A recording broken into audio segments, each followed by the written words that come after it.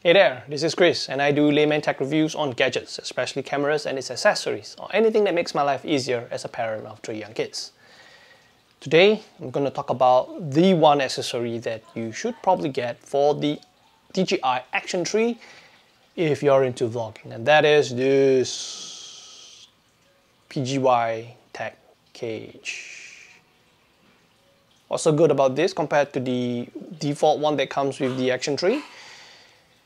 Well, the only thing good about this is that it's a cold shoe mount and yeah, it's seems pretty sturdier. All right, take the GoPro, take the Action 3, sorry, not the GoPro, slide it in, lock it in. That's it.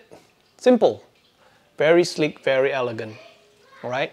Um, so the only thing good about this, as I mentioned, is the shoe mount. It, second reason, minor reason, it, that it looks or feels more robust. Uh, like it can take some kind of beating. I'm not, I'm not going to try that uh, compared to the plastic one it comes with the Action 3. Now this one has a quarter inch mount here um, it has an opening here for you to mount the magnetic adapter. Like the plastic one that comes with the Action 3, you can also mount this vertically. Right, so if you take your magnetic mount here, you can mount it horizontally like so, or you can do it uh, vertically like so.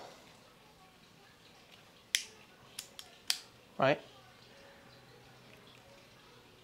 So few things that I don't really like is that first this this one seems to be easily um, easily comes off. I don't know why. You need, you need to really lock it in, hear that click, then it will not come off so easily. Um, it is also heavier, so if you plan to put this in your pocket, you will definitely feel uh, like weight, like a rock in your pocket.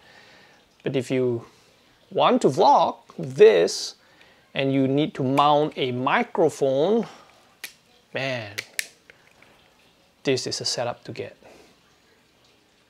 So this is how it looks like if you were to mount an external microphone, such as this Sennheiser MKE200. Looks pretty slick, huh?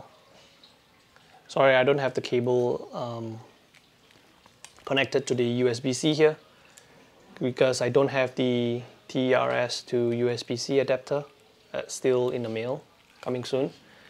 So I can't really test the MKE200 on the DJI Action 3 for now uh, but the setup is pretty sick.